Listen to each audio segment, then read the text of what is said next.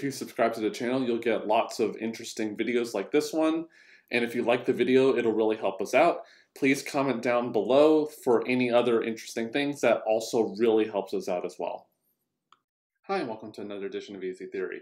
So we're going to do an actual real exam example of using the master theorem.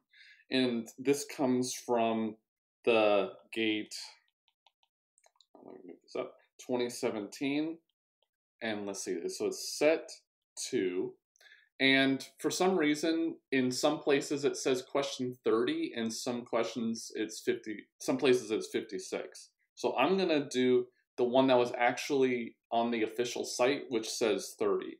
So this is question 30, and that's how I'm gonna list it on my playlist. But in on some sites I see 56. So, so we have a recurrence function, so t of n is going to be 2t square root n plus 1.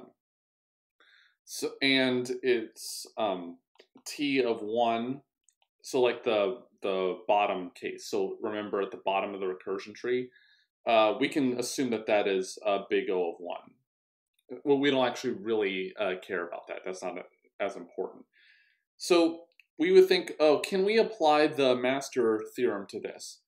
And the answer is no, or at least not directly, because, well, we have the A term out front, because, so that's two subproblems of the identical size. Here's f of n, no problem. But this right here is not of the form n over a constant, okay? It is n over square root n, but a and b here have to be constants and squared n is not n over a constant.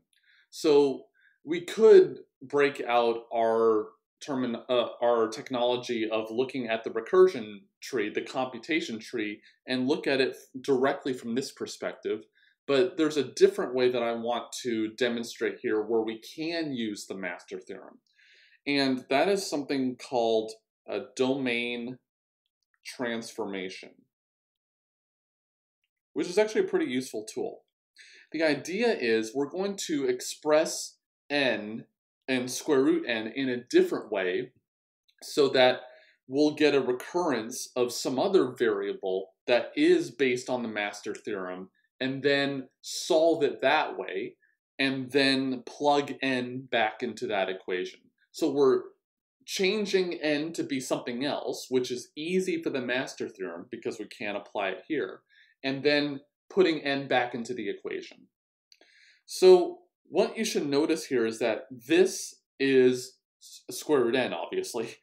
Um, so what we're going to do is the common technique here is to have this be 2 to the power of something equal to n.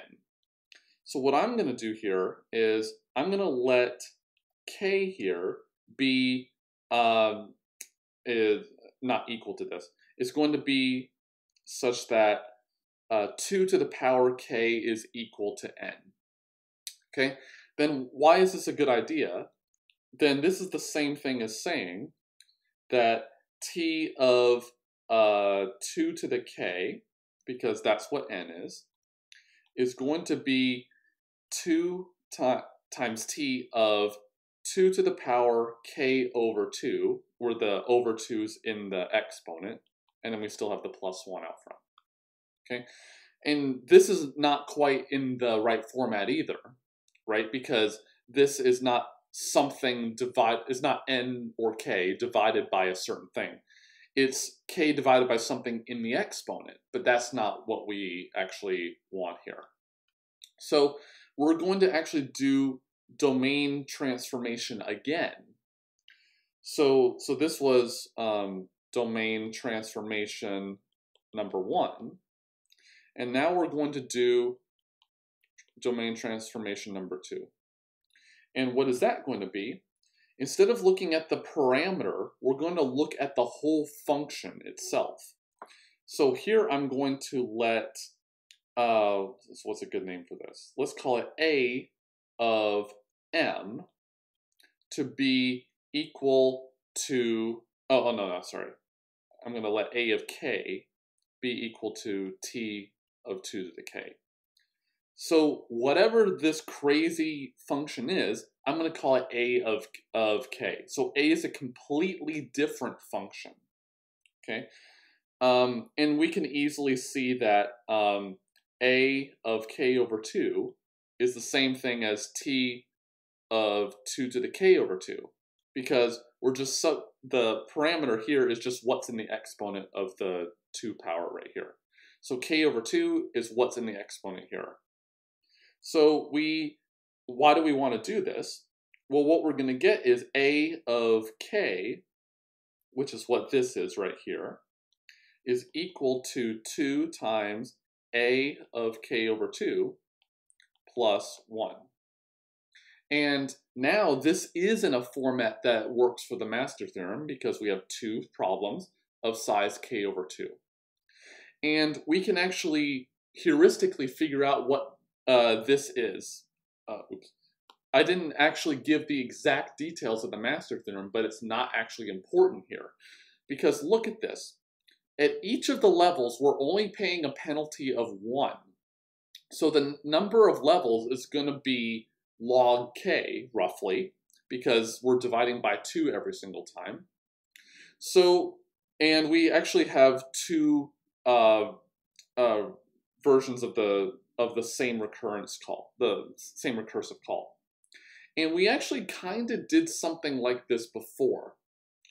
Um, so here, what we're going to actually do is we're going to notice here that if you solve this uh, directly, this turns out to be big O of k. So uh, if you actually expand the recurrence out, uh, you will get exactly big O of k, and I invite you to do so in the comments. It, so this is actually kind of surprising, but it, it is true, and it's something that you should at least be familiar with. Whenever you have 2 times some recursive function, k over 2 plus 1, or actually any constant here, so if this is a constant, then you'll get big O of k. Okay, so let's actually uh, uh, plug this back in? Well, what we actually can actually get uh, even more precise is that it's not just big O of k, it's I it's exactly equal to k, assuming that the bottom of the recursion is uh, a constant which is 1. Okay, so um, we, we can't necessarily assume that here, but the original problem from the gate exam had um, the bottom of the recursion tree being a constant, uh, being it having it be one. So let's just assume that it actually is one here, um, because you'll see why in a sec. Um, although it actually won't matter. So, well, but let's handle it anyway. We could put a big O of k in here, but let's just assume that it actually is k. So then the total runtime is k. Well, then what we have from before is that k is equal to, oops, so 2 to the k is um, equal to n. So uh, what is the actual runtime here? Well, this is simple. We can uh, simplify this to be k being uh, big O of log n. So the runtime of the algorithm was k, and k is equal to log n.